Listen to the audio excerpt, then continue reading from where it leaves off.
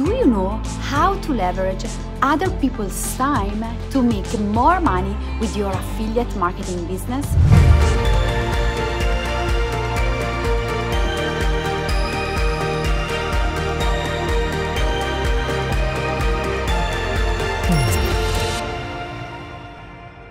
Hi, I'm Silvia Galati from Affilify and welcome to this episode of Desperate Affiliate Marketers. Outsourcing is the key to boost your affiliate marketing business. Thanks to the internet, you can hire freelancers all over the world to complete tasks you have no time or skills to do yourself. So now I want to share with you three tips to outsource your affiliate marketing business. Tip number one have a clear idea of your needs. To avoid a job that isn't done as per your expectation, you need to have a clear idea in your mind so you can give detailed instructions. Don't give anything for granted. Give to the person you are outsourcing a particular task all the information needed to complete it.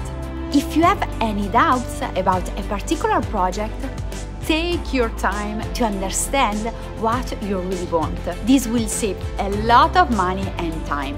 Tip number two find out the right outsourcing website. So, based on your project, understand which type of help you need. You are looking for a virtual assistant to take care of your agenda or a designer for your website, or a copywriter for your sales page? Once you have decided which professional figure you need, search online website where you can hire these people. Freelancer and Upwork are the most popular ones. You can post a project describing in detail what you need, and freelancers can apply to help you. And this brings me to tips number three that is hire after checking rating and always negotiate the price.